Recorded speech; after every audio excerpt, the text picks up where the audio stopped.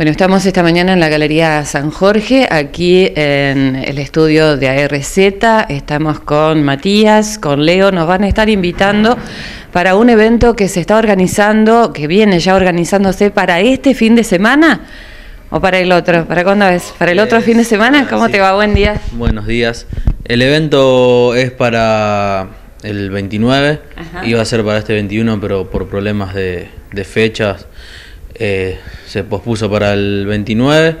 Bien. Y el evento se trata de batallas de, de rap, eh, como ya hicimos una vez, donde van a venir muchos chicos de, de afuera, de San Nicolás, de Galvez, de Pueblo Ester, de Lagos, de Figuera, de Villa, de muchos lados.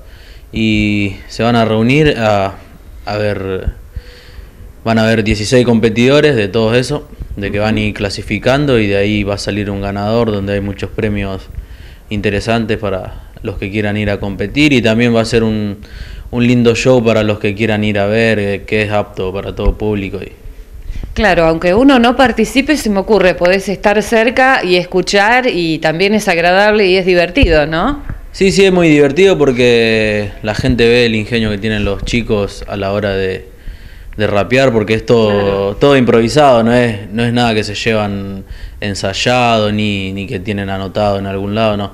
Es todo improvisado y eso es lo, lo divertido de, para la gente que no conoce.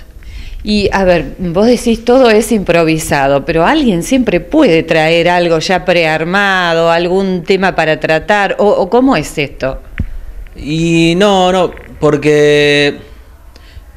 es ¿Se va contestando uno a sí. otro? Uno se eh, trata de, de- de atacar al otro lo más inteligentemente Ajá. y el otro se tiene que defender, así por algo se llaman batallas de rap Claro. y, y sale todo en el momento. Quizás, quizás alguno, obvio, es medio pícaro y se trae algo pre- preparado, diría yo, algunos capaz que sí, capaz que no, Claro. pero es todo, todo improvisado y uno se da cuenta que es improvisado porque responde lo que le dice en el momento, ahí, ahí cuando uno ve la inteligencia de, de cada rapero.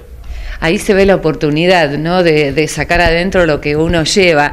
Y, por ejemplo, ¿cuáles, eh, ¿cuáles son los temas que, que más se tocan en una batalla de este tipo? ¿De qué se habla, por ejemplo? ¿De que, no sé, de la vida, se ofende a alguien?